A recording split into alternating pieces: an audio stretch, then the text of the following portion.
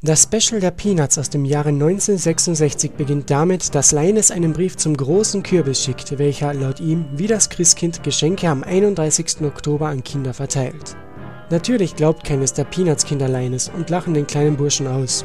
Er beschließt daraufhin, beim Kürbisfeld auf die mystische Figur zu warten, doch diese taucht nicht auf. Wer glaubt, dass Linus jetzt aufgibt, denkt falsch, denn er beschließt auch nächstes Jahr auf den großen Kürbis zu warten, bis er auftaucht. Es ist schon ganz schön lange her, dass ich die Peanuts das letzte Mal gesehen hatte und ich musste ganz schön graben, um eine Kopie des Specials zu finden, doch nachdem ich es gesehen habe, bin ich auf den Schluss gekommen, die Animation dieses Specials von 1966, demselben Jahr, in dem Adam West zu Batman wurde, ist wesentlich besser als die Animation in den Filmation-Serien der 80er Jahre.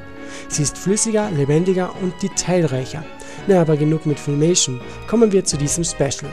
Das Special ist wunderbar, nicht gruselig, wie man es von anderen Halloween-Specials von Serien kennt, sondern wirklich eine Folge, die man nicht verpassen sollte. Es zeigt, wie sich Kinder an Halloween verhalten und wie Charlie Brown anstelle von Süßigkeiten einen Stein bekommt. Diese Szene hatte einen solchen Eindruck bei den Zuschauern der Erstausstrahlung hinterlassen, dass sie Kisten voll mit Süßigkeiten zur Zentrale des TV-Senders für Charlie Brown schickten. Doch das Special lehrt uns auch etwas Wichtiges. Haltet an euren Träumen und Glauben fest, wie es auch Linus getan hat. Denn nicht immer wird es im Leben so laufen, wie ihr es glaubt. Das Special bekommt von mir 5 von 5 bemalte Hinterköpfe von Charlie Brown. Bis zum nächsten Mal.